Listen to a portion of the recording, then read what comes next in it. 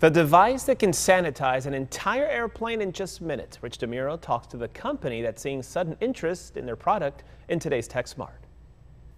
With coronavirus concerns, airlines have been doing a better job of disinfecting the insides of planes. Now, one company is seeing sudden interest in their product that makes the process fast and easy. You raise the wings up here. That's Elliot Kreitenberg. And I am an international and intergalactic infection preventionist.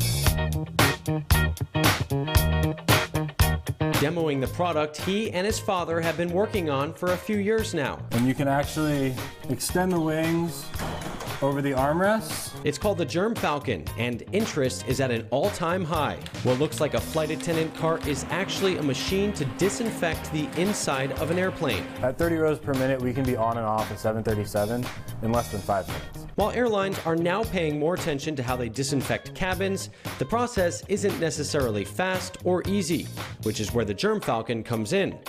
The device uses a blast of UV light to kill viruses and bacteria on a variety of surfaces. Basically, these UVC light photons interrupt the, the DNA and deactivate them immediately, killing them and a dead germ has never infected anybody. To see the demo, I must first put on a protective shield for my face. That's it? That's going to protect me? Yep. And gloves to cover exposed skin.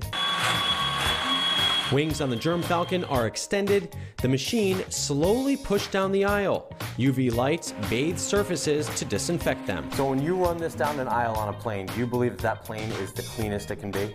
Absolutely. The Germ Falcon was originally developed to fight the flu. Now there's interest from airlines in using it to combat coronavirus. So these UVC lamps are proven in hospitals to be effective against coronavirus. Uh, the dosages are published, and we know that we can reach those dosages easily. Now, while interest in the Germ Falcon is high, so far just one airport has started using technology from the company. Paine Field, just north of Seattle, is using a handheld version of their product called the UV Hammer to disinfect passenger waiting areas. And if you want more information on this story, you can find me on social media. I am at Rich on Tech. Reporting from home, I'm Rich DeMuro, and you are Tech Smart.